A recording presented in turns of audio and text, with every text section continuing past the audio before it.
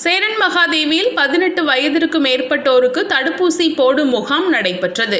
நெல்லை மாவட்டம் சேரன் மகாதேவியில் பேரூராட்சி அலுவலக வளாகத்தில் வைத்து பதினெட்டு வயது முதல் நாற்பத்தி நான்கு வயது வரை உள்ளவர்களுக்கு கொரோனா தடுப்பூசி போடும் பணி நடைபெற்றது. இதில் சேரன் மகாதேவி தாசில்தார் பாலசுப்ரமணியன் சேரன் மகாதேவி பேரூராட்சி செயல் அலுவலர் காதர் மருத்துவர் ஜேம்ஸ் கோவிட் கண்காணிப்பு குழு தாசில்தார் பார்கவி தங்கம் மண்டல துணை தாசில்தார் மகாராஜன் சுகாதார ஆய்வாளர் முருகன் மற்றும் செவிலியர்கள் ஆஷா பணியாளர்கள் வருவாய்த்துறையினர் மற்றும் பேரூராட்சி அலுவலர்கள் மற்றும் பணியாளர்கள் உட்பட பலர் கலந்து கொண்டனர்.